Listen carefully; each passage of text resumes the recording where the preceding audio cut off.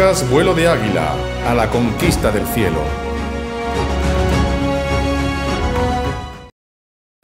Salve María, queridos amigos, y bienvenidos a un nuevo programa de Vuelo de Águilas. Vamos a seguir elevando las miras, elevando el corazón para profundizar y conocer más eh, el sentido de nuestra fe.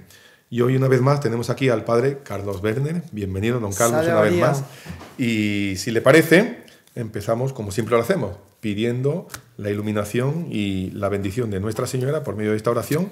Y ahora también vamos a pedir, justamente porque está muy relacionado con el tema que vamos a hablar, al Espíritu Santo. Si le parece, don Carlos. Sí, vamos a pedirle a la Santísima Virgen que llena del Espíritu Santo y que portadora del Espíritu Santo, sobre todo en el episodio de la visitación, vamos a pedirle que pues derrame sobre nosotros ese espíritu para que podamos hablar bien eh, y bellamente de esa tercera persona que es tan importante y tan desconocida. En el nombre del Padre, del Hijo y del Espíritu Santo. Amén. Amén. Dios te salve María, llena eres de gracia, el Señor es contigo, bendita eres entre todas las mujeres, y bendito es el fruto de tu vientre, Jesús. Santa María, Madre de Dios, ruega por nosotros pecadores ahora y en la hora de nuestra muerte. Amén. En el nombre del Padre, del Hijo y del Espíritu Santo. Amén. Pues empezamos este nuevo capítulo sobre, como bien decía don Carlos, ese gran desconocido, ¿verdad que sí? El Espíritu Santo. Eh, justamente veo que tiene aquí el libro del Padre Rollo Marín, El gran desconocido, el Espíritu Santo y sus dones. Pero permítame empezar, don Carlos, por algo que aparentemente no tiene nada que ver con el Espíritu Santo, si bien que todo está relacionado. Y es con el Génesis, ese primer libro eh, de la Sagrada Escritura, que en su capítulo 3, en los versículos, en los versos del 4 al 6, dice así. Entonces la serpiente dijo a la mujer, no vais a morir. Dios teme el día en que comáis de ese árbol, vuestros ojos se abrirán y seréis como dioses. Eso es importante. Conoceréis el bien y el mal. Al ver la mujer, que el árbol era bueno para comer, agradable a los ojos y deseable para alcanzar la sabiduría, tomó de su fruto y comió. Y dio también a su marido, el cual comió al igual que ella. Y yo creo que aquí tenemos eh, un poco ese contraste, la tentación de la tentación, o sea, la tentación de las tentaciones, que es, seréis como dioses. Sin embargo, el Espíritu Santo nos llama a ser como Dios. Ser otro Dios, por así decir, con D minúscula como dicen muchos padres de la iglesia, entre ellos San Agustín.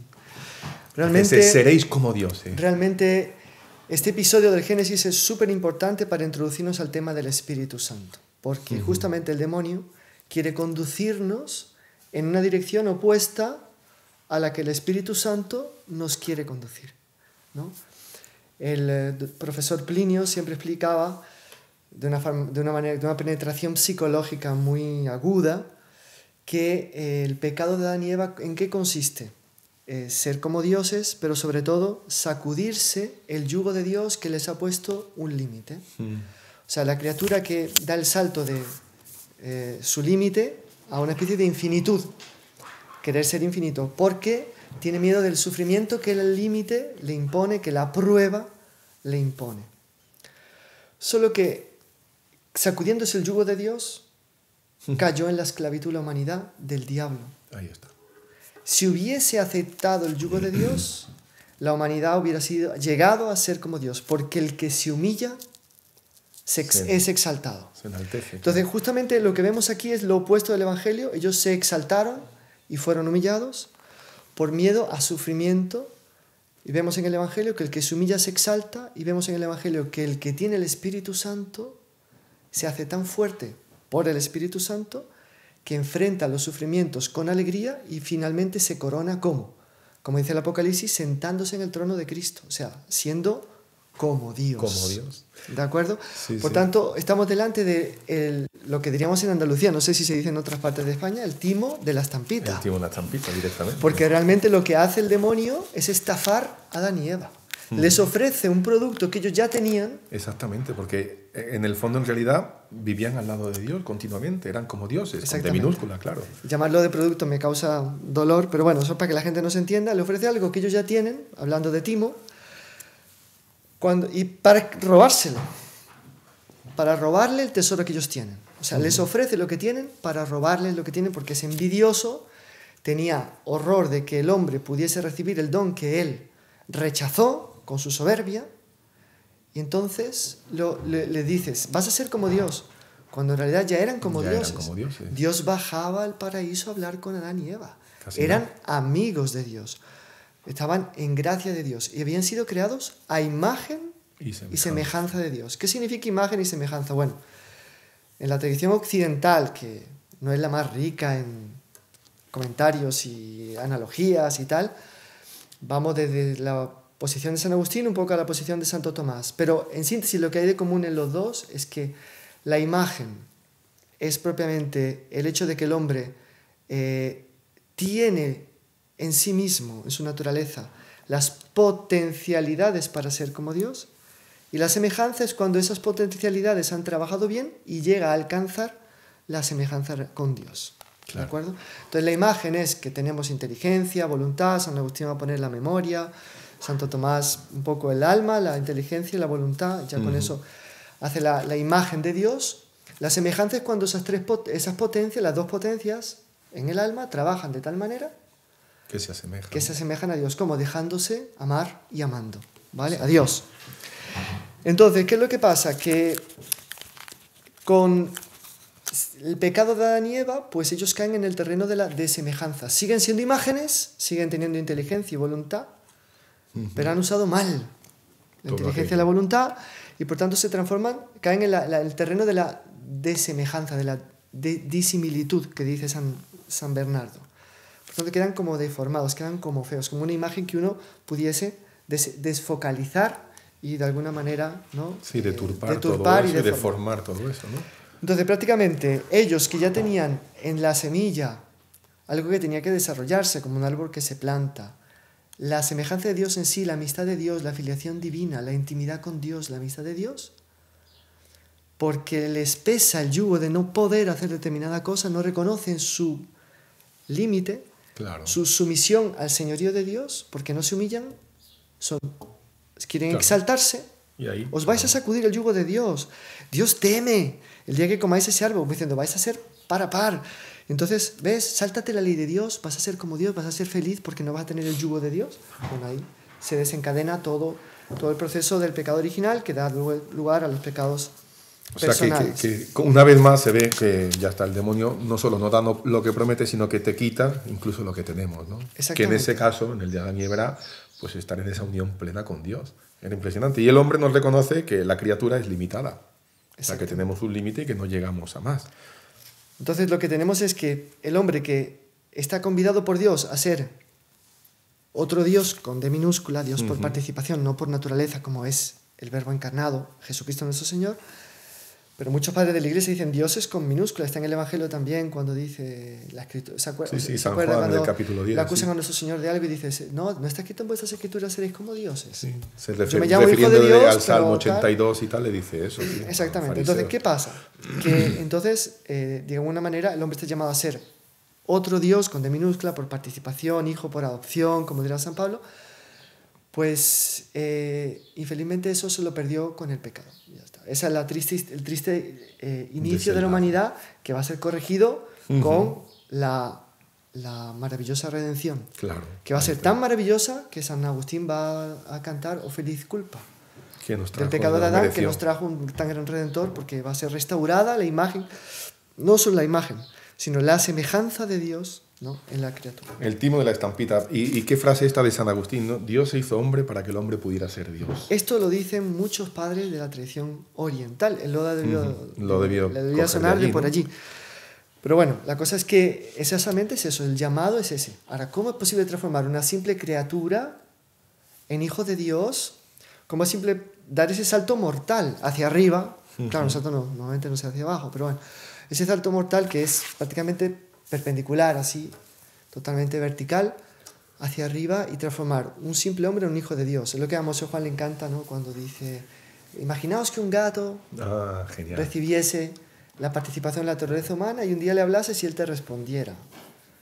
Entonces, ¿cómo se, nos maravillaría que el ga- gato, con el caso de la- los cuentos de niños, el gato Sí, con sí, botas, sí, gato con- habla, se el, el gato de verdad ha hablado, o la mula de Balaam, que es un caso verdadero, que una mula que habló, Que habló y fuerzas y del. Espíritu Santo y hizo, reprendió al profeta Balaam. Pero, ¿cómo es que el hombre, esa es la, la pregunta, el hombre pasa de ser simple criatura, racional y todo, a hijo de Dios? Porque ahí, entonces, don Carlos, si no, si no me equivoco, dígame porque yo en esto a veces me voy, ¿eh? Eh, el límite lo pone la naturaleza. Dios no va a poner un límite nunca. Dios con su dádiva, con su gracia, nos va siempre a engrandecer. O sea que en el fondo el límite es la naturaleza y, la, y ese límite que yo le pongo a la propia naturaleza. No es Dios el que va a poner nunca un límite en ese aspecto. Aquí una cosa curiosísima respecto del límite. La naturaleza humana es limitada y esto parecería imposibilitar el hecho de que nos hagamos hijos de Dios. Porque como Dios es infinito... Y es Dios. Y es Dios, imposible. Por tanto, el salto mortal cancelado. La cosa es que sabemos por la revelación, lo sabemos por la vida de los santos, sabemos por la escritura, lo sabemos por todo, que ese salto mortal se da. Y se da en el bautismo. Y después se da cuando se consuma en una muerte santa. Ahora, ¿cómo es posible entonces? Entonces, el padre Garrigou explica una cosa muy, muy interesante. Es que el ser humano tiene una capacidad limitada de amar, pero tiene una capacidad ilimitada de querer ser amado. Por eso cuando Santo Tomás dice que vamos al cielo y vemos a Dios cara a cara, dice, seremos capaces de verlo todo, pero no totalmente. No totalmente. Madre mía, qué, profundidad. Es una profundidad muy grande. O sea, el ser humano tiene un misterio por el cual hay una, aunque él es limitado, tiene una ventana abierta al infinito. Y es esa ventana abierta al infinito que Dios ya la creó así para poder después entrar él por esa ventana con su gracia y elevarnos de simples criaturas a hijos de Dios. Es algo tan maravilloso ser hijo de Dios. Que cuando hay gente que presume de nobleza, que ya cada vez hay menos, pero que dicen, no, porque yo soy, defiendo de la familia Windsor, no, yo de una familia inglesa más antigua, no, no, quita, quita, yo soy de la familia, no sé, Capeto, y lo que usted quiera, o aquí en España, yo soy descendiente del duque de no sé qué, del duque de no sé cuánto, grande de España.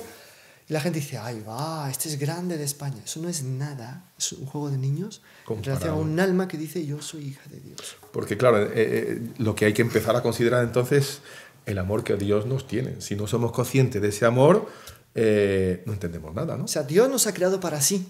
Ese es el amor que Dios nos tiene. Y quiere realizar eso. O sea, que nosotros realmente vayamos a Él y por tanto nos dejemos inundar totalmente de su amor. Que ese amor eh, lo vamos a desarrollar más adelante, pero ya me adelanto, es el Espíritu Santo. Exactamente. O sea, el amor en el seno de la Trinidad es el Espíritu Santo. ¿Vale? ¿De acuerdo? Dios es amor entendemos toda la Trinidad es amor, pero en el circuito trinitario, o sea, cuando tenemos la gracia de conocer qué pasa dentro del corazón de Dios, de la vida íntima de Dios, vemos que hay una persona que constituye el vínculo indisoluble entre el Padre y el Hijo, que es el Espíritu Santo. ¿Vale? Entonces, digamos que el ser humano es una criatura limitada, pero con una mm, ventana abierta al infinito, por la cual deseamos, por ejemplo, vida para siempre. Me acuerdo en mis lejanos tiempos de colegio, el profesor de literatura nos decía que Miguel de Unamuno, bueno, esto nunca lo fui a leer en las obras de Miguel de Unamuno, repito lo que en la época me dijeron, al final de su vida, él siendo agnóstico, ¿no? durante un buen tiempo de su vida, al final de su vida escribía, mi mente me dice que voy a morir, pero mi corazón me dice que quiere vivir para siempre. Para siempre. Ahí hay una pequeña abertura del corazón o de la mente de, de Unamuno a la idea de Dios. Claro, y, Entonces, eh, esa, esa, ventana al infinito, ¿quién la ha puesto? Porque ¿quién hizo al hombre? Dios. La ha puesto Dios. ¿Para qué? Para que Él pueda entrar y llenarnos con su amor. Y el ejemplo claro, de, yo creo, de, de, esa perfección de la naturaleza, de ese traspasar y transbordar ese límite es la vida de los santos. ¿no? Que muchas veces uno ve santo y dice, el otro día, hace tiempo, veíamos San Pascual Bailón eh, un devoto de la Eucaristía fabuloso, no tenía estudio, no era un fraile menor, de lo más sencillo, y sin embargo escribió tratados y discutía con los herejes. ¿Por qué? Porque tenía un amor tan profundo a la Eucaristía que rebatía, y vamos, tanto es así, patrono de, de las obras eucarísticas, etc. O sea que eh, la naturaleza, si se deja penetrar por ese amor de Dios, no, sí, lo ama más, es instruida por él, es elevada a una ciencia altísima, sobre todo a un amor Total, totalizante, total y totalizante. O sea, el hombre se realiza en ese amor a Dios. Entonces, ¿cómo funciona el circuito? Vamos a ver. Según Santo Tomás, ¿qué es el, ¿cuál es el objeto del amor? ¿Que, todo el mundo tiene amor? Es ah, obvio. que si, todo el mundo se mueve por el amor. Si yo voy al supermercado, porque en último análisis amo mi vida y quiero comprar la comida que me va a sustentar la vida. Y la que está más buena, claro. Entonces, voy a por el amor. Y después voy a comprar la que más me gusta porque el, el paladar tiene sus preferencia. Entonces, más a, a más lo contente, más feliz soy. Entonces, así va. El amor que está en las pasiones, está en la voluntad, es el que nos mueve a ir viviendo y a ir tal. El amor mm, es lo que hace nacer el miedo. Si veo un peligro, tengo miedo, porque amo. Entonces, el amor, ¿cuál es el objeto del amor? ¿Qué busca el amor? El bien. El amor sensible busca los bienes concretos, efímeros, la comida, Sí, los sí. placeres, El buen dormir, buen dormir, en fin, la comodidad, todo. La voluntad busca un bien ilimitado, esa es la ventana al infinito. La voluntad busca. Algo que te satisfaga. El bien en absoluto. Plenitud, claro. el bien universal. ¿De acuerdo? Ese bien es Dios. El hecho de que nuestra voluntad pueda buscarlo a Él, como decíamos, lo ha hecho Dios. Dios, por tanto, ama que la criatura le busque.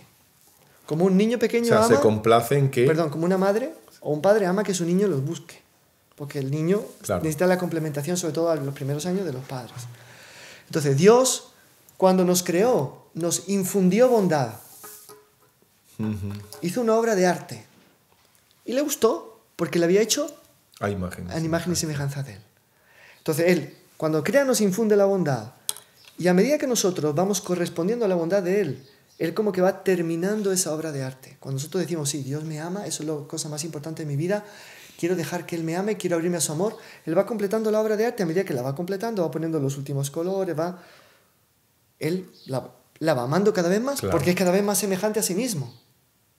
Y como Él es el bien y Él es el amor porque se ama a sí mismo, que es el bien, nos ama a nosotros porque hay un determinado bien que Él ha puesto y que Él ha ayudado Ha ido a, des- a- a a desarrollar. a crecer, a perfeccionar.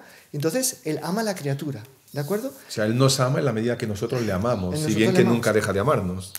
Él nunca deja de amarnos a no ser que a la hora de la muerte nosotros le cerremos claro. la puerta por última vez y entonces ahí caemos en la ira de Dios. Claro, en, En el, el- apartamiento, en, en el- la pena de daño que es En el mar de fuego del Dios. Apocalipsis donde va, va a ser castigado por toda la eternidad los reprobos. Porque claro, la tentación muchas veces es pensar que el amor de Dios hacia el hombre es, es semejante al que nosotros tenemos entre los hombres, claro. Es rebajar a Dios a lo natural cuando es al Claro. revés, ¿no? Tenemos que sublimar todo O sea, eso, ¿no? Aristóteles dice, la verdadera amistad entre dos hombres es muy semejante a la amistad que hay entre Dios y el hombre, pero se da entre poquísimos hombres. Claro, Porque normalmente las amistades son placenteras o utilitarias. claro.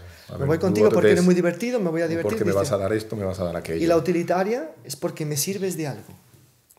A partir del momento que no me sirves más, si O sea, te vi, que no me realidad, acuerdo. que en realidad no es, ya no es amor, es un... Entonces dice, eso se dice amistad de forma semejante a la verdadera amistad. ¿Cuál es la verdadera amistad?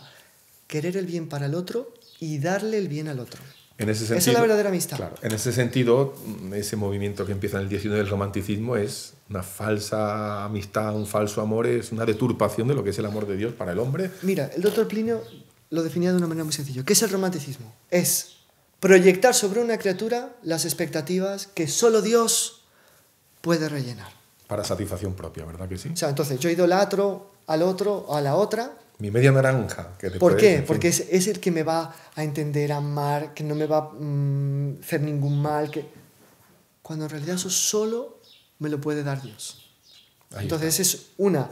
eh, Esos anhelos que el corazón humano tiene de ser amado infinitamente se proyectan sobre determinada criatura. ¿Qué sucede siempre?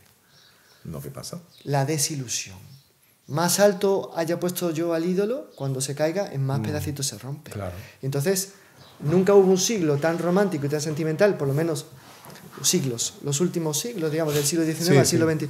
Aunque hoy en día las ya no hay ni siquiera amor Bueno, romántico y sentimental, ya es puro si- Salvajismo, es ani- animalismo prácticamente. Pero bueno, siempre queda un fondo de ilusión, de la amada y tal, que ojo, muchas veces los enamoramientos no son eh, movimientos verdaderos.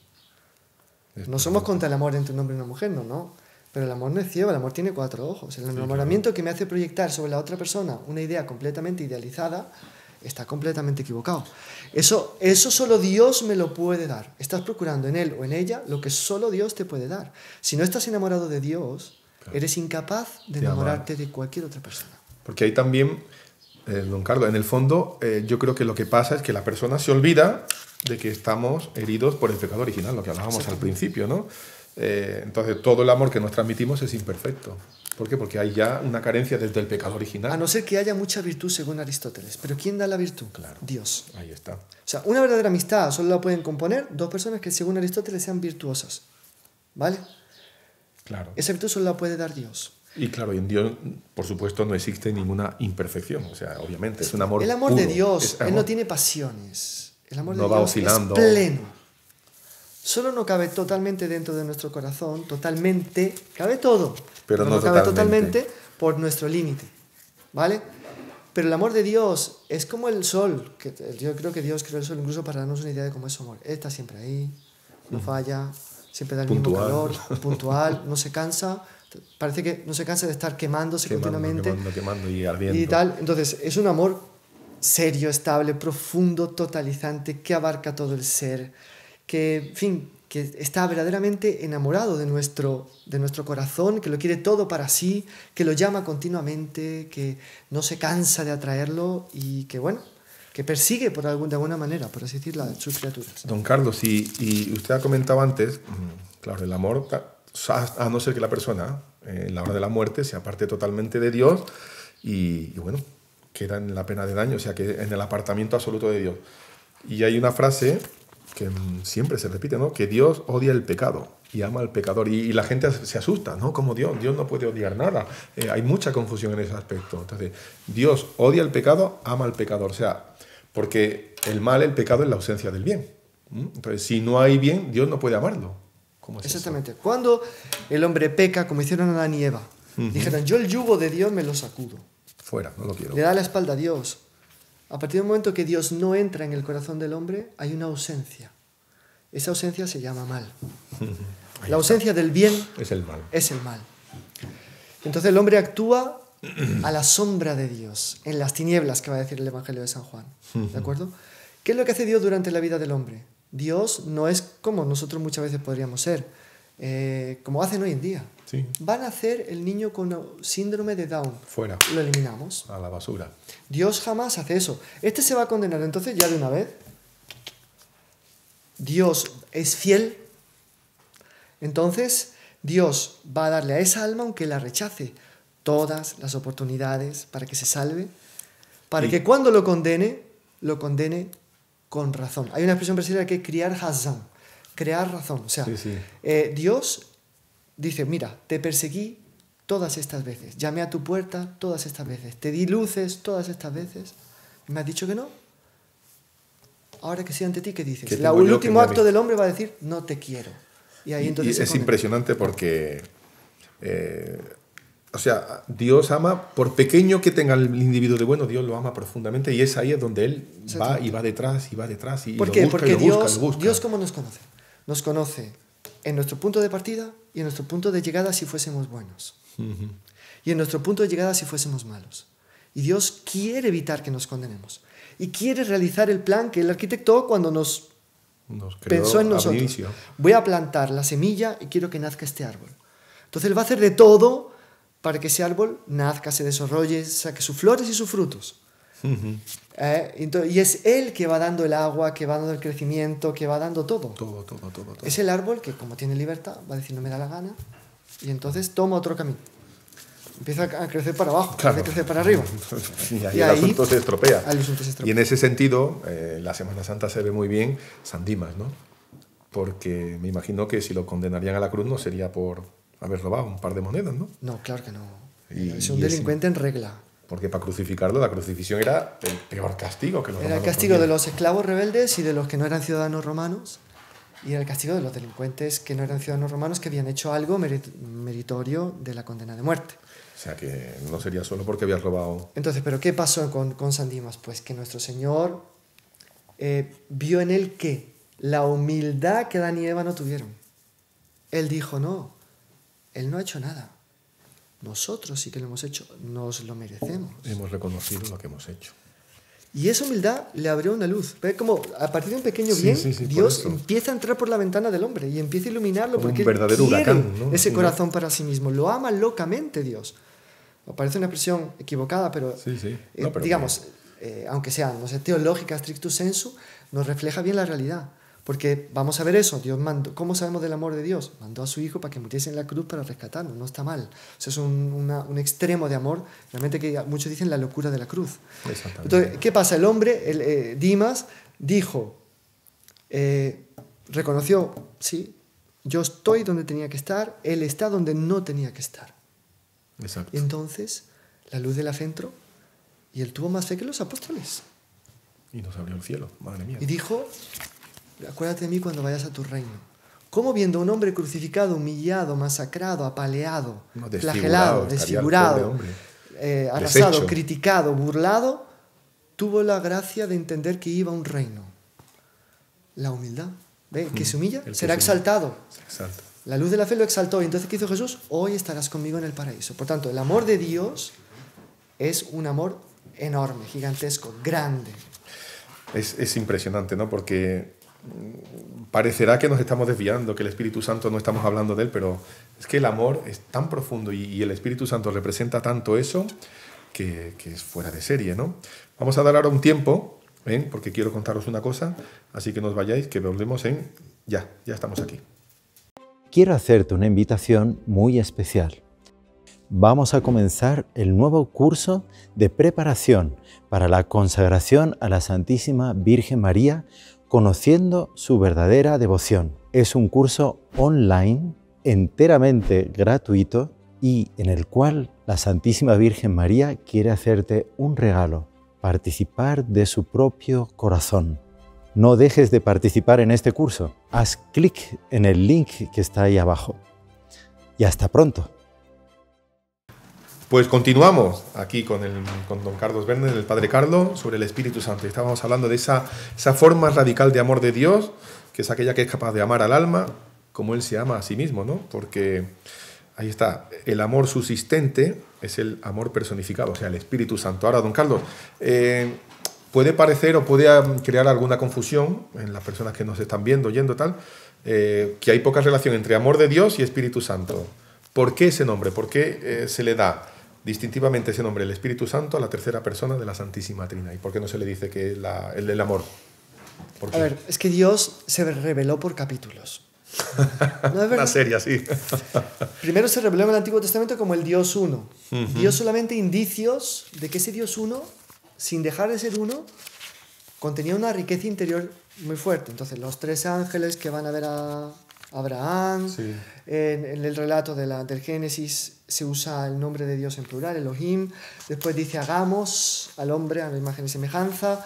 Y había rabinos, ¿eh? antes de la venida de Jesús, que hablaban de una Trinidad en Dios. O sea, algo en el Antiguo Testamento habían Ya intuido. percibían. Pero claro, al pueblo no se lo contaban para que no cayeran en el politeísmo. Y entonces lo que estaba solidificado como concepto es que Dios era uno. Dios uno. Cuando llega Jesús y empieza a hablar de su Padre y dice que Él y el Padre son uno y que después es el Espíritu Santo y tal, es que Él revela, nos abre un horizonte nuevo que nuestra razón por sí sola no podía llegar a comprender la existencia de un Dios único.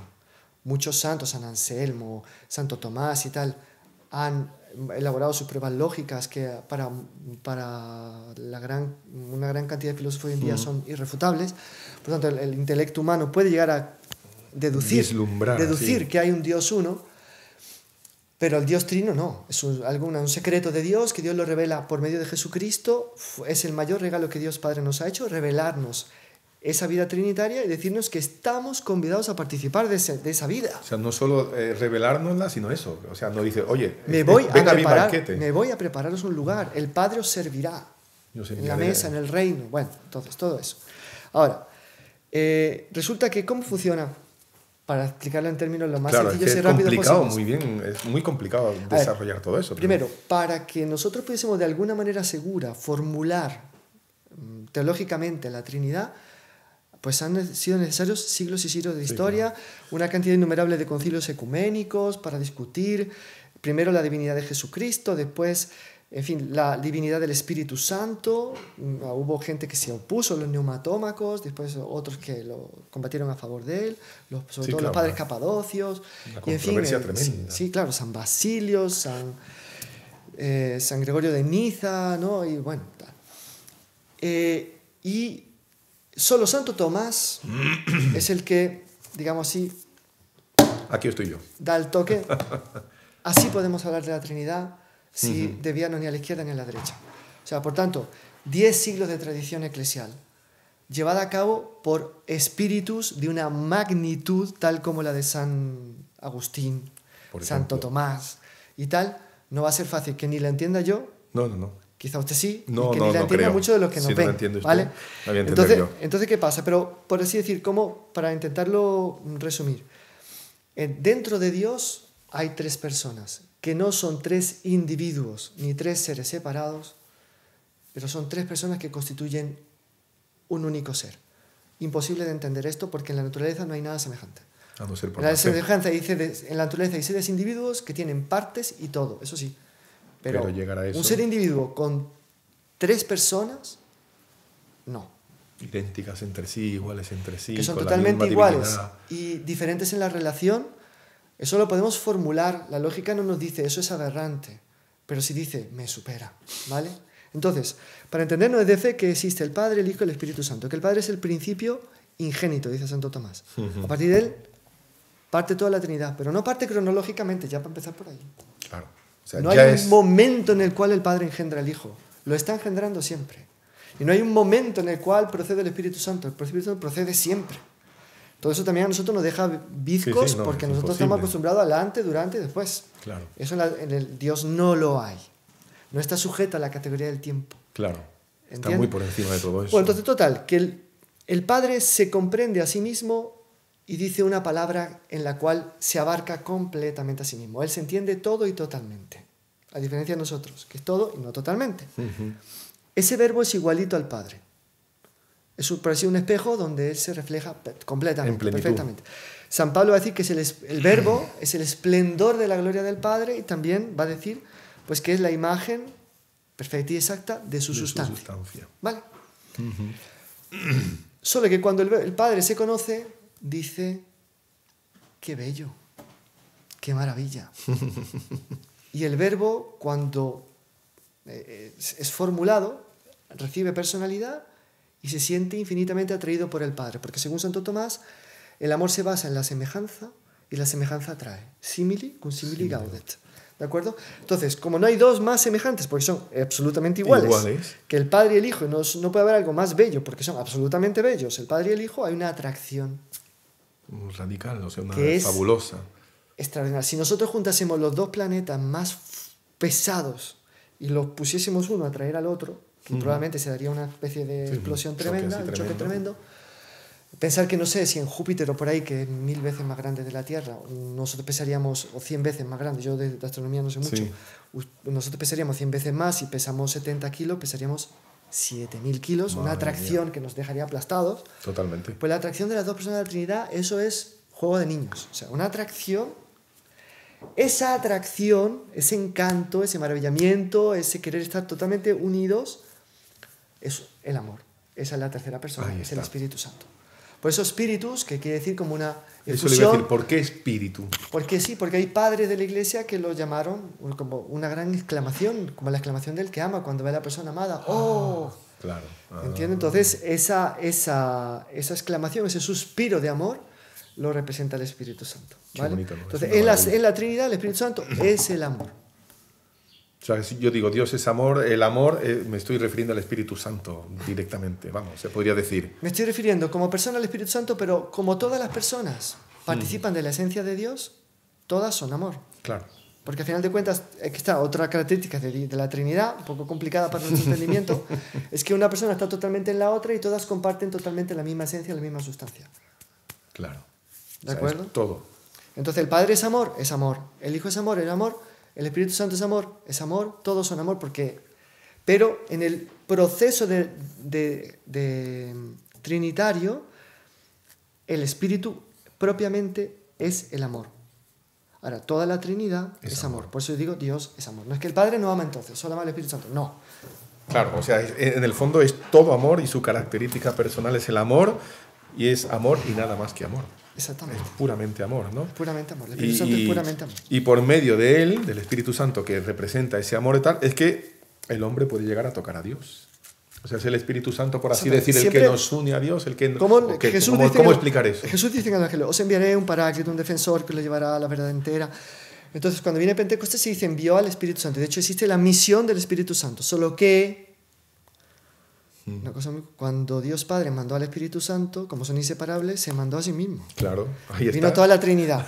Pero se le apropia al Espíritu Santo, porque el Espíritu Santo, como por ser el amor en el circuito trinitario, todo lo que diga fuera de la Trinidad respecto al amor se le apropia generalmente Se a él, le da. aunque él no puede actuar solo, porque la Trinidad, según San Agustín, adextra actúa concomitantemente siempre. O sea, siempre, donde hay una actuación del Espíritu, hay actuación del Hijo, hay del actuación del Padre. Y viceversa. Solo que, Todo. dice San Agustín, actúan inseparablemente, pero no de manera confusa. Cada uno como que deja una marca. Qué bárbaro que es. es- Solo que bueno, sobre eso teníamos que hablar de la Trinidad. Vamos a pasar la página porque es, Sí, tenta- sí, es no, tentador, pero no, nos no, vamos no, a claro, claro, claro. Claro, entonces el hombre puede unirse por medio de ese amor. De ahí que eh, es el, duel- el dulce huésped del alma, ¿no? O sea, O sea, exactamente. mora en nosotros, ¿no? Exactamente. O sea, el Espíritu Santo, por eso San Pablo dice, sois templos, el- el- no solamente el alma, también dice el El cuerpo, propio cuerpo, ¿no? es templo del Espíritu Santo y que, al que profane ese templo, Dios lo destruirá. Hoy en día hemos visto, está de moda de nuevo, aquí en España, por toda Hispanoamérica, el terrorismo de la blasfemia, ¿no? que, Sí. que tristemente causa cada vez menos reacción en, el- en los fieles católicos. Se van como dándose de hombros o ya no les importa a muchos, a otros sí les importa, han hecho actos de reparación, pero digamos que generalmente disminuye. Nos duele. Entraron en México en una iglesia, eh, abrieron el sagrario, lo tiraron al suelo, tiraron las hostias, las profanaron, les hicieron todo tipo de obscenidades y barbaridades. Entonces, el hombre es templo de Dios. Cuando él peca, profana. Hace de exactamente Dios. como si hubiéramos hecho todo eso. Entonces, solo para darnos por la negativa cuenta de la importancia de lo que significa que uno, que de criatura no pasaba de ser un animal racional, Sí, ya está, y no más que pasó a ser templo de Dios, pero un templo no frío como los templos que nosotros vamos a visitar. Sí, sí, que sí, son Es un inertes, templo digamos. vivo en el sentido que está en relación amorosa con Dios. Y Por Dios tanto, es- mora ahí, ¿no? Y Dios vive irradiando su amor y el hombre recibiendo el amor y dándole todo el amor que puede, desde que el hombre sea virtuoso y sea bueno. Claro. ¿Vale? O sea que de ahí que muchas veces, don Carlos, uno eh, cuando ve a una persona que está inundada de Dios o que está que ama profundamente a Dios, uno dice "Es que veo a Dios en un hombre, como pasó con el cura de Ars, o como pasa con tantos santos o tantas personas virtuosas que uno los ve y dice, madre mía, se siente una atracción porque hay una paz, hay una hay un amor que transmite, que refleja, que es realmente impresionante. O sea, es un- una morada fabulosa. Y el hombre lleno de Dios Santo. se transforma en una especie de polo de irradiación de Dios para los demás también. Ahí está. ¿De acuerdo? O sea, es, un- es una irradiación desde de lo que es el amor de Dios que, que hace que la persona tenga el deseo de ser buena. ¿no? Y, y yo creo que también ahí se ve muchas veces eh, todos esos movimientos que, bueno, que tienen personas muy virtuosas y tal, cómo se les calumnia, cómo se les, en fin, se intenta menoscabar todo ese amor que ellos tienen para decir, ah, es un egoísmo personal, es esto, no, en el fondo es la propia persona que ataca a esa al verse en un estado pésimo del alma, pues como que le da rabia todo eso. ¿no? Lo que hicieron Sabe. con Jesús. Exactamente. La humanidad santísima de Jesús era el templo por excelencia del Espíritu Santo. Era, claro. Cómo fue odiado, porque esa la luz pone a la luz los pecados que están en las tinieblas y los que están en tinieblas no quieren poner Claro. sus pecados a la luz de la, del sol. Del que es- sol, de la es verdad, de del la amor. verdad. Entonces atacan, contraatacan. Aunque no haya un fundamento, aunque no haya nada, ¿no? Es tremendo, ¿no? Si alguno me ama, guarda mi palabra, y mi Padre le amará, y vendremos a él, y en él haremos morada, nos dice San Juan. O sea que es el cumplir en ese amor, en ese unido, es en, ese en esa unión por medio del amor que Dios eh, hace morada en nosotros. Por eso San León Magno sabe qué dice, hermano Carmelo, dice, Dice. cristiano, descubre tu dignidad. Porque Qué gente bárbaro, dice, a mí nadie me quiere, a mí estoy abandonado, no me miran, no me llevan en consideración. ¿Cómo que no te quiere nadie? Si Dios está loco de amor por ti. No, pero no lo siento, es que no se trata de claro, sentirlo, como los animalitos. porque no lo podemos sentir siempre, porque Dios no, estamos en un estado de prueba. Claro. Pero lo sabemos por la fe y muchas veces Dios se hace sentir. ¿Y cómo se hace sentir? Pero vamos, estamos en un estado de prueba. Claro. Entonces, eh, no lo que sabemos por la fe, pero solamente la convicción de la fe nos debía llenar de alegría, Claro. llenarnos completamente de alegría. Y qué pena, porque si conociéramos eso y si supiéramos eso, eh, el hombre actuaría de otra manera.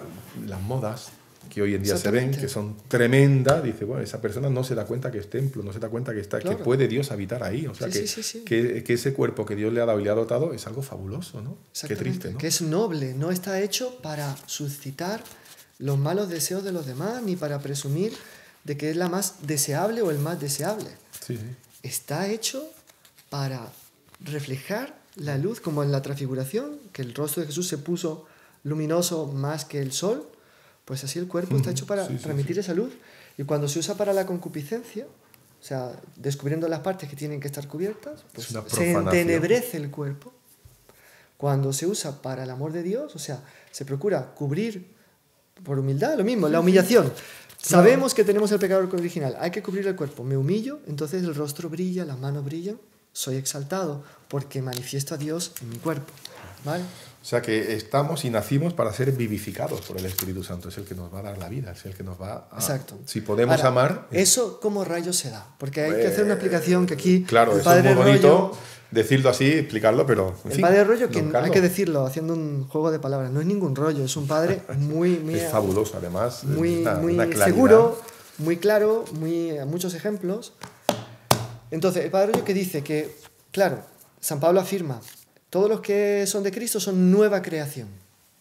Por tanto, cuando nosotros somos bautizados, un organismo invisible pero sobrenatural es acoplado, por así decir, a nuestra alma.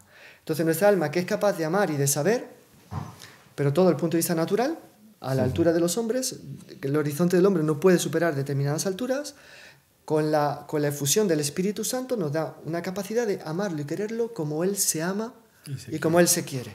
Por tanto, somos sobrenaturalizados.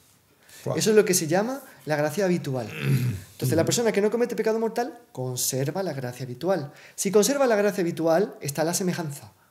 Si está la semejanza, está el semejante. O sea, si está la belleza, Claro. el corazón está bello, el Espíritu Santo viene, porque el amor es atraído por la semejanza. Entonces, somos templo de Dios, ¿de acuerdo? Ahora, ¿Ese organismo cómo funciona? Así como tenemos extremidades que nos llevan aquí, nos ayudan a cargar las cosas. A veces uno piensa, no son robots, inteligencia artificial, no sé qué. Jamás serían capaces de hacer esto con un libro, con la facilidad que nosotros lo hacemos. Sí, sí. y sin ningún Porque él de- tendría que hacer un técnico 50 años para programar que pudiese hacer con el libro. Ti, ti, ti, Después lo hará muy bien. Sí, sí, pero no, solo. lo hará en una Ahora, Dios que nos ha dado esa capacidad de movernos ¿no? con las extremidades, pues también nos da una capacidad de quererlo y amarlo como ser. Entonces, a través de virtudes y dones. Las virtudes son la fe, la esperanza y la, la caridad, que son virtudes teologales infusas por Dios. Yo puedo amar a Dios como Él se ama, creer en Él, esperar en Él. O sea, poner toda la meta de mi vida, todo el fin de mi vida, todo el- concentrar todos mis deseos en Él. ¿vale? Y después las virtudes humanas se sobrenaturalizan. La justicia, No, prudencia, bueno, la mejor la prudencia primero. La prudencia, la justicia, la fortaleza y la templanza se sobrenaturalizan. Entonces empiezo a actuar como un pequeño Dios, entre comillas. Sí, ¿vale? sí, Por así claro. decir. Esto significa que puedo amarlo y tal, pero para que sea más perfecto el acto, Dios nos infunde los dones. ¿Qué son los dones? Y aquí pregunto si podemos leerlo rápidamente. Sí. Está aquí en el Padre Rollo Marín, en el Gran Desconocido, el Espíritu Santo y sus dones. Dice, son hábitos sobrenaturales. Hábitos. Ah, ¿Hábitos qué significa hábito?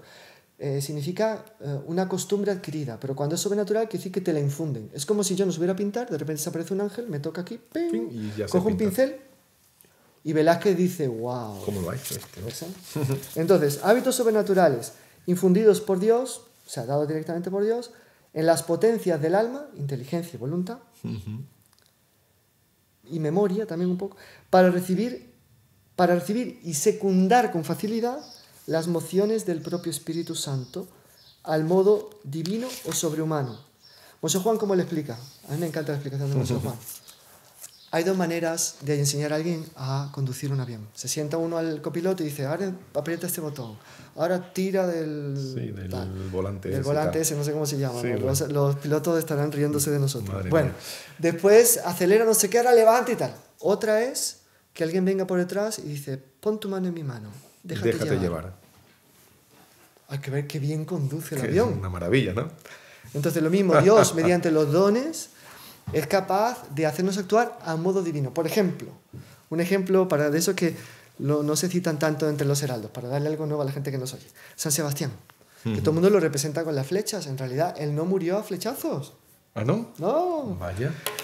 Él era Cuénteme, soldado de la corte cuénteme, de porque esa no me la sabía ni Diocleciano. yo. Esa entonces, era, era eh, soldado de la corte de Diocleciano, de la confianza, era el jefe de la corte del O sea, no era emperador. un Mindundi cualquiera, Bueno, ¿no? cuando se enteran que porque estaba este galeano que odiaba muchísimo a los cristianos, total que corre la voz, después se revela que él es cristiano, lo, conden lo intentan eh, amenazar a ver si desiste, no desiste, total que lo condenan a morir flechado. Lo flechean, cae muerto, pero cuando van los cristianos a enterrarlo, Está vivo. Está vivo.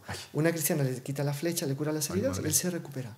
Pero se recupera totalmente diferente. Y va a Diocleciano y con el dedo en riste empieza a increparle. Me habías Madre matado, aquí estoy vivo. Y entonces tú estás condenando a los cristianos, que son gente inocente. Tú te vas a ir al infierno si no cabe. Está hasta Está hoy. la crónica de La todo crónica eso. de todo eso, si uno va a las catacumbas de San Sebastián, ahí tienen todo documentado y te, te muestran todo eso. ¿eh? Bueno, entonces el resultado, que Diocleciano lo condenó a morir flagelado hasta la muerte. Que eso O sea, ser- después de morir flechea, a flechazos, eh, oh, madre mía, ¿eh? Entonces lo flagelan hasta la muerte. Y ahí San- Sebastián entrega su alma a Dios. Debe ser horrible morir flagelado hasta la muerte. Buah, Una cosa espantoso. tremenda. ¿De dónde le vino esa fortaleza y esas agallas de presentarse ante el emperador? Si él antes vivía como cristiano escondido, Claro, una vez que ha sido curado, en vez de escaparse, ¿de dónde vienen las agallas de presentarse tal? el espíritu. El Espíritu Santo lo pilotó y él se dejó pilotar. Ah, que eso es muy importante, ¿no? Cosa El, de- importante. el- Vale, el dejarse tanto, pilotar. Ese es el modo como nos santifica el Espíritu Santo y es el modo como que... ¿Y esto qué se dice? De la virtud- del don de la fortaleza se dice el don más importante, ¿no? Son siete los dones, están, son siete los dones, están en Isaías 11, 1, 3, Ujú. ¿vale? Y el, bueno, el Padre Rollo, los, bueno, son de sabiduría, Sí, entendimiento, están consejo, aquí. fortaleza, ciencia, Eh, piedad y temor de Dios. Exactamente. Que, son dones que perfeccionan las obras de las los actos de las virtudes. Entonces, la sabiduría está con la caridad, el entendimiento y la ciencia con la fe, el temor con la esperanza, el consejo con la prudencia, la justicia, la piedad con la virtud de la justicia, la el don de fortaleza con la virtud de la fortaleza, el temor con la virtud de la templanza. Hacen que en todas esas virtudes sean heroicas. Por ejemplo, Santo Tomás, el famoso episodio de la, anto- de la, de la, Ah, de la brasa, cuando los hermanos, para perderlo, le introducen a aquella mujerzuela, él coge el asco y la persigue. La virtud de la templanza llevada a un cierto, porque tal el temor de Dios que Claro. ataco. La mejor manera de defenderse es el defender es ataque. un buen ataque. Él cogió la- el tizón ardiente y fue atrás de aquella mujer. La mujer salió Pitando. pitando y tal. Entonces, pero la- el don más importante, el de sabiduría. Porque ese se nos hace saborear quién es Dios, enamorarnos de Dios y amarlo como Él se ama. Por tanto, venimos al amor siempre, O ¿no? sea, vamos a, lo más radical de Dios, y el, el don de sabiduría como que está por debajo de todos los otros dones, casi que los engloba. ¿De acuerdo? De, de tal manera es importante y decisivo. Así como la pasión, amor, está detrás de todas las pasiones, el don de sabiduría detrás del otro y la virtud de la caridad Está está también. fundamento de todas las demás virtudes. Por tanto, solo para dejar esto claro, Y, y también están lo- lo- los frutos del Espíritu Santo, los frutos del Espíritu Santo. ¿eh? que Padre, antes lo veíamos y digo, ah, que lo tiene ahí. ¿Por qué? Porque muy se habla mucho de los dones, pero de los frutos los tenemos Sí, ahí sí. un poco abandonados. Están en San Pablo. Son 12, ¿verdad? pero claro, la gente no se acuerda, o bueno, cuando dice la confirmación, a lo mejor, caridad, gozo. Está en. Gálatas 5, 22, 23. Ujú. Después de una regañina de San Pablo, le dice, oye, que tenéis que ser como los hombres conducidos por el Espíritu. ¿Cuáles son los frutos? Caridad, o sea, amor. Amor, Gozo espiritual, mimo en las tribulaciones, alegría. gozo espiritual, ¿no? Paz, Eso que el mundo tanto busca y que no encuentra, ¿no? Paciencia, benignidad. Me ha hecho el mal, no importa. Sé bueno. Yo no voy a pagar el mal con el bien, voy a pagar. Bondad, o Mm. sea, querer el bien a los demás. Longanimidad, o sea, mucho aguante. O sea, perseverancia total. De esto que me acuerdo una señora en Italia que decía, padre, venía con su marido, el marido ya un señor, ¿no? 65 años de casados. Madre mía. Quiero darle gracias a Dios, padre, porque no fue fácil aguantar. Longanimidad. Mansedumbre, Ah, amigo. Manso Fe. modestia, lo que hablábamos de las modas. Claro. No- y no solo modas, tantas otras Sí, cosas. tanta, en fin, Continencia, que eso es importante también. exactamente, y castidad. Entonces, Gálatas 5, 22, 23. Son los frutos del Espíritu Santo. ¿Quién alguien quiere saber que tiene al Espíritu Santo en su corazón? Tiene que ser Vea así. si tiene alguno si de no es así, ahí tiene que hacer un buen examen de conciencia. Bueno, pues, don Carlos, no quiero terminar eh, eh, tratando del Espíritu Santo, porque ya el tiempo se nos va, va huyendo, pero el Espíritu Santo, el amor, Dios, ese amor trinitario y María. Bueno, ¿Qué tiene que ver? Porque... La Santísima Virgen María es la criatura más santa, por tanto, la que está, por así decir, más en el centro del corazón de Dios, la que de una manera más particular participa de la vida de Dios y la que mm, debe ser considerada como la hija predilecta del Padre, la madre admirable del Hijo y, la, esposa, castísima y fidelísima del Espíritu Santo. Por tanto, la Virgen María es como que para todos nosotros una puerta de acceso a la Trinidad.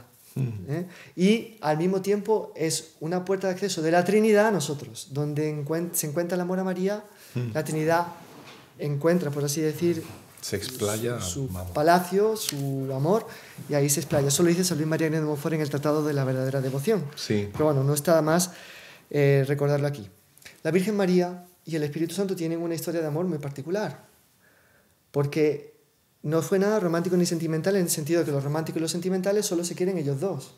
El amor de Dios es muy abierto. Entonces, la Virgen tiene la Anunciación. La Anunciación es muy trinitaria, porque de alguna manera velada se habla del Padre, del Hijo y del Espíritu Santo. Esto lo dicen grandes santos, muy citados en todas las obras de los heraldos, en el Tratado de la Verdadera Devoción. Entonces, el poder del Altísimo, el Espíritu te cubrirá con su sombra, en fin, y el Verbo vendrá. Entonces, más poco la Trinidad está en la Anunciación, y la Virgen, así, siendo tabernáculo del Verbo, recibe la inspiración de que tiene que ir a servir a otra persona. Se podía haber quedado en casa diciendo, yo voy a ir a ver a Isabel ya después, porque yo hasta que no tenga el niño, a mí que no, me, atrevo a... Se fue deprisa a la montaña, sin agitación, pero deprisa. Sí, sí. ¿Y qué pasó allí? Que cuando ella llega, su voz, apenas tu saludo llegó a mis oídos, el niño saltó de alegría en mi vientre. Hmm. Y Isabel fue llena del Espíritu Santo. O sea, Nuestra Señora era portadora. Es antes de que el niño Jesús se manifieste al mundo, porque está oculto en su seno, empieza a operar la redención del género humano con Cristo, en Cristo, por Cristo, pero a través de ella. Claro. Si ella no va. Entonces ya santifica a San Juan Bautista en su seno, tanto que existe la fiesta de la santificación. Sí, sí, El único santo que se celebra el nacimiento. El nacimiento, sí, el nacimiento y, el martirio. Porque nace un santo. Sí, sí, ya era santificado. ¿Y quién lo hizo santo? el Espíritu Santo, Jesús, por medio de María. Cuando ha oído, mi, cuando he, cuando oído tu, saludo, llegó a mi oído. La criatura. Después eh, santifica a Santa Isabel de una, de una forma tan perfecta que, como lo que decimos, la instruye. ¿Quién soy yo para que la madre de mi Señor venga a mí? ¿Cómo es posible que una mujer de una aldea de Judea supiese que la madre de su Señor había venido, a, ella? El Espíritu Santo la instruye y le da que a veces entre mujeres hay comparaciones, envidias y tal. a, veces, a, veces. no siempre, pero bueno, puede pasar, puede pasar. Y Santa Isabel está totalmente rendida de admiración, de alegría, de caridad por la Virgen María. Aquella que le sirve a ella, ella la considera su señora, porque es la madre de su señor. Muy bonito esta, este entrelazarse de humildades y de exaltaciones que hay en el Evangelio. Pero después en Pentecostés, los apóstoles están reunidos en oración con María. Con María. Con María. ¿De acuerdo? Entonces, por tanto, tenemos que la Virgen María y el Espíritu Santo están íntimamente unidos y actúan juntos.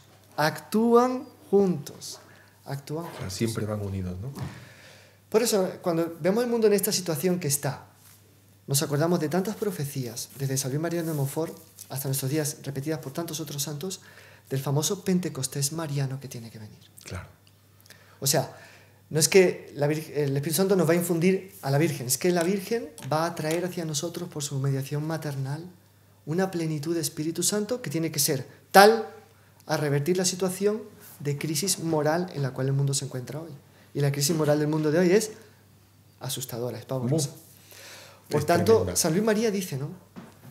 No tiene que venir antes del incendio de fuego que destruirá todas las cosas, un incendio de amor que renueve todas las cosas. Él habla, San Luis María, de una conversión universal. Total, ¿no?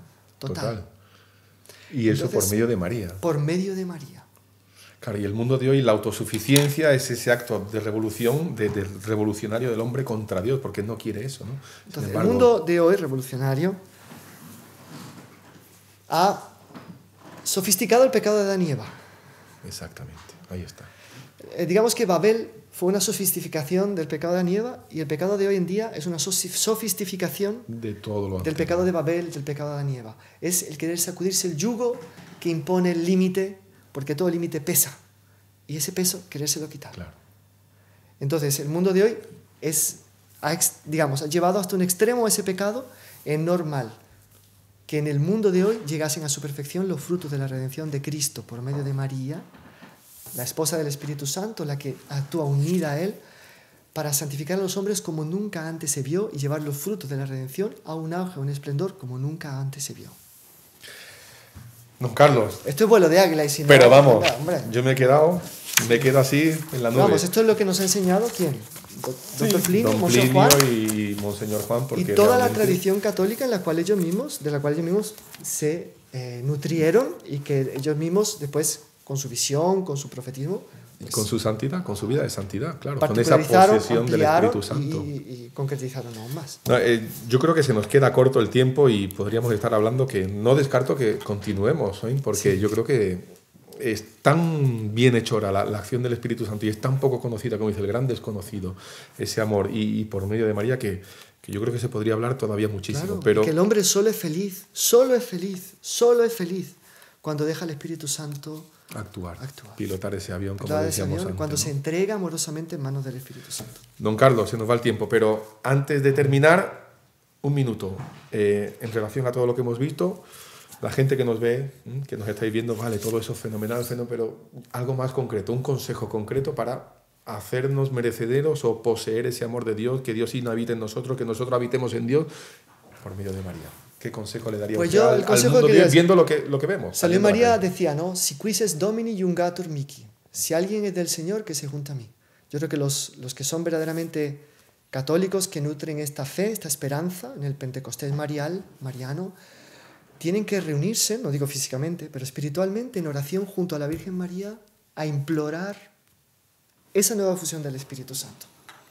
De tal manera que eh, recemos, recemos, recemos para que venga el Espíritu Santo. Doctor Pino decía, ¿no? En una oración eh, que él formuló así, esponte propia, así, como decían los, dirían los italianos, abracho, ¿no? O, bueno, sí, sí, espontáneamente. del corazón, así. Decía, es necesario que la le pedía a la Virgen, mm, Virgen María, obtén de tu divino esposo que él sople sobre la humanidad con toda su majestad, todo su calor, toda su fuerza, para renovar todas las cosas y hacer nueva la faz de la tierra.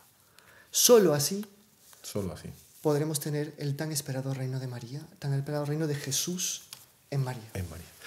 Pues ahí queda, queridos amigos, rezar y pedir mucho. ¿Para qué? Para que esa efusión del Espíritu Santo pervada toda la tierra y podamos ya vivir en esta tierra ese reino de María que tan deseado eh, es por todos nosotros y tanto pedimos durante años y años, pero que se dé, que se dé esa, de manera efectiva. Don Carlos, muchísimas gracias. ¿eh? Le espero en, los siguientes programas y yo creo que este eh, podemos aumentarlo porque yo creo que nos ha quedado el sabor de boca, mm, la miel en la boca y hemos empezado muy bonito, pero falta, falta continuar más para profundizar. Si le parece, le pedimos al Espíritu Santo, a través de la bendición suya como sacerdote, que, que nos dé ese deseo en el alma de, desear. Que, se infunda, que sea derramado en nuestros corazones y los transforme totalmente, totalmente radicalmente, los atraiga irresistiblemente y los haga santos. María. Por intención de la Virgen María, esposa fidelísima del Espíritu Santo, la bendición de Dios Todopoderoso, Padre, Hijo y Espíritu Santo, descienda sobre todos vosotros y permanezca para siempre. Amén. Salve María y nos vemos en el siguiente programa de Volando, vuelo de águilas. Salve María. Salve María.